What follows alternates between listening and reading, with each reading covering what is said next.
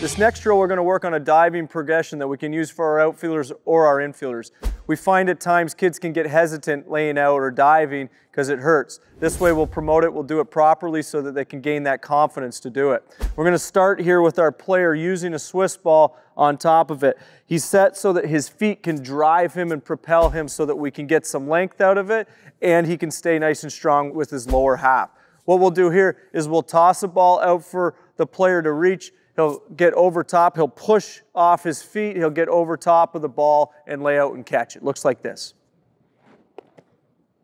As a coach, we want to toss it, we want to lead him and try to extend him fully. Perfect.